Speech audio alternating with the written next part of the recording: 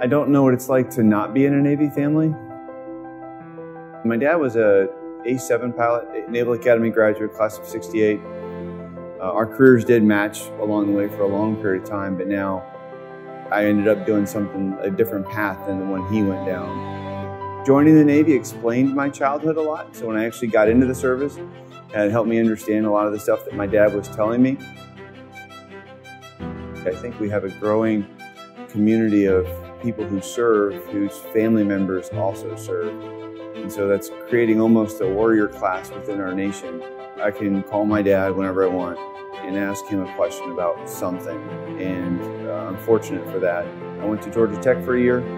I was having a lot of fun at Georgia Tech. Uh, and no joke, one morning I woke up and I realized that I wanted to be a Hornet pilot on the East Coast. We quickly worked the package to get into the Naval Academy, was accepted uh, into the Naval Academy, and ended up getting fly Hornets on the East Coast.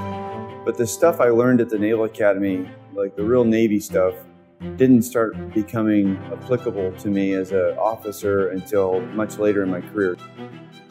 Uh, one of the things you learn at the Naval Academy is the five basic responses. Yes, sir.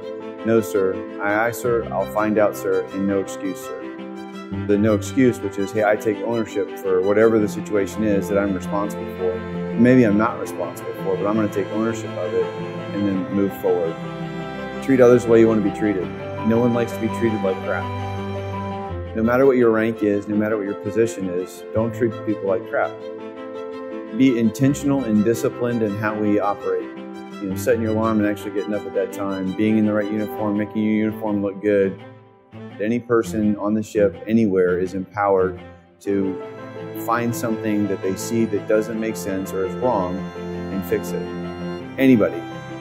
All of that focused on, again, making the ship ready to go downrange to accomplish our mission our, uh, our motto, strength from the sea. So it talks about being strong. There's a lot of talk these days about resilience and uh, helping us as individuals be strong. We're stronger than we think we are uh, as, a, as an individual, as a family, and as a ship. Uh, and we're going to get to demonstrate that.